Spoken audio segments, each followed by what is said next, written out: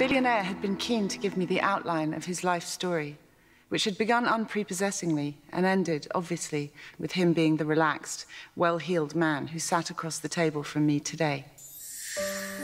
Our narrator's life is full of people who tell her their stories.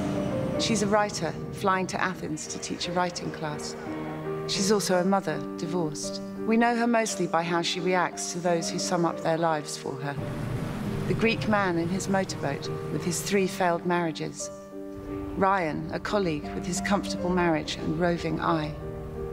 Anne, the playwright, who tells her she was attacked by a stranger. Now Anne can't write. In a sense, her work had jumped out of a bush and attacked her. I said it seemed to me that at a certain point a lot of people felt that. Not about work, but about life itself.